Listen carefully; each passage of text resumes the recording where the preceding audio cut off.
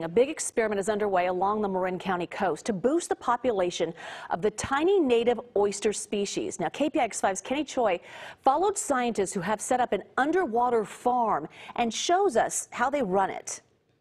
Scientists believe the Olympia oyster, also known as the native oyster, thrived along the west coast, even with human consumption.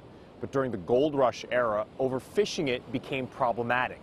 Now there's a special project underway in Tomales Bay little bit of a, of a stab.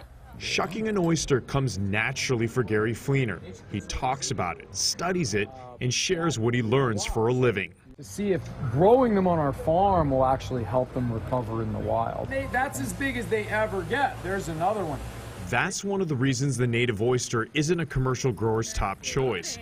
These are baby oysters that will take years longer than a typical oyster, like the much popular Pacific oyster, to reach edible size.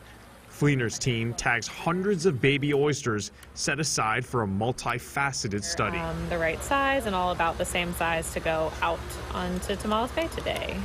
104 at 14. Not every oyster will be counted. Years of planning lead to this moment.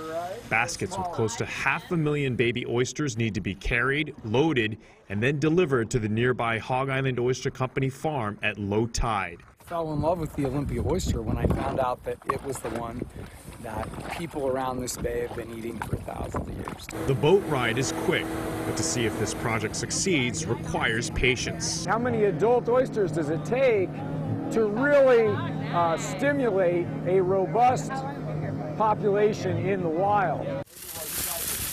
The higher the better, right? Can you see the Fleener, who's an ecologist, and his crew look for the best lines to place the baskets as they'll be above the water and in it every day based on the changing tides.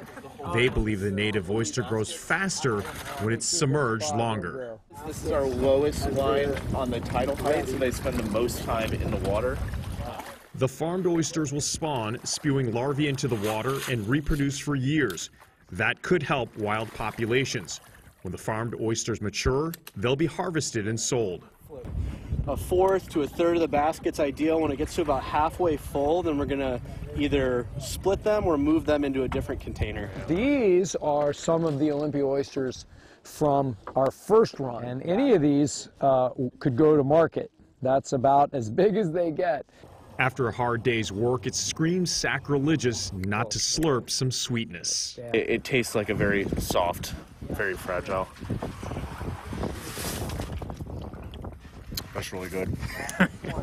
it's one step in the restoration process and just the beginning of new research for Fleener to talk about. Uh, by farming these, we hope we're contributing to their recovery back into the wild.